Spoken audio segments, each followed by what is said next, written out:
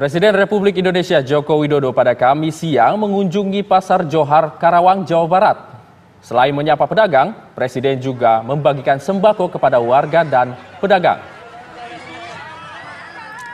Setibanya di Pasar Johar Karawang, Jawa Barat, pengunjung dan pedagang sontak riuh saat menyambut kedatangan Presiden Joko Widodo.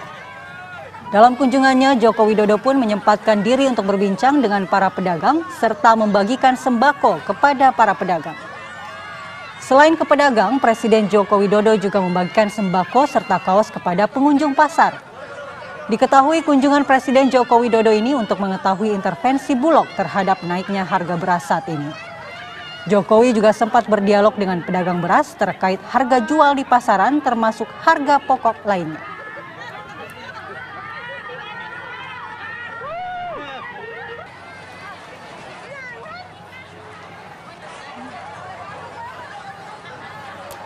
Jason.